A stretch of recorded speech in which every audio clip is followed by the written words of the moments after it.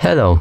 In this video I'm gonna show you how to enable Do Not Disturb mode and explain all of its properties on your Samsung Galaxy A13, but it also works the same way on any Samsung Galaxy A series like Samsung Galaxy A53, A13 as I mentioned, A12 and etc. So in order to access Do Not Disturb mode, we'll need to go to our settings, scroll down and find notifications. From here scroll down again and go to Do Not Disturb. From here you can either enable or disable the setting and what it does it will uh, prevent all calls, all notifications and messages from reaching your phone to not disturb you. And you can enable it and we have few options right here so you can add the schedule. So for example right now there's one uh, code sleeping and it enables every day from 10 to 7 next day. And uh, it allows us to sleep nicely without any interruption from our the from the calls or notifications. And the next options are exceptions which you can uh, customize allowance for uh, for the calls or messages to reach you. So if you press on calls, messages and conversations, you can customize it further.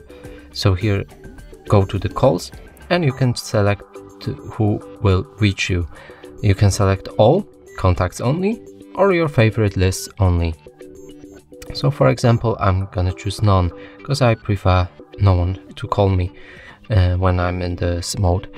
You can enable repeat callers, so if someone really tries to reach you, uh, your phone will start vibrating if he if someone calls you like multiple times in a span of 15 minutes.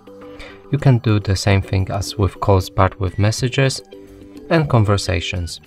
You can change to priority conversations or all. The next option is alarm and sounds and you can basically disable or enable uh, all of these settings right here like alarms. So no alarms will be ringing while you're DND let's establish that do not disturb mode is a shortcut.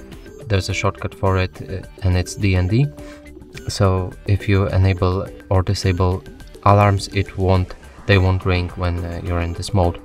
You can enable or disable media sound which works the same way and everything here like touch sounds, calendar events or reminders. You can select specific apps, uh, so when you actually have an app, you can you won't be disturbed while using it. So, for example, here we don't have Audible, but I think it's very useful for Audible because if you want to listen to an audiobook, you can uh, add it and then Nothing will disturb you while listening. And that's it for this video, hope you like it, please consider subscribing to our channel, leave a like and a comment below.